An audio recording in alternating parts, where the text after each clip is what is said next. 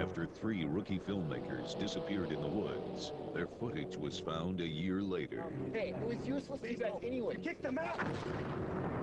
And a legend was born. Put that camera! Scary as hell, says Rolling Stone. The Rockford IceHogs present I'm so scared. The Bell Witch Project. Now playing at the Rockford Metro Center. For tickets, call 815 968 5222.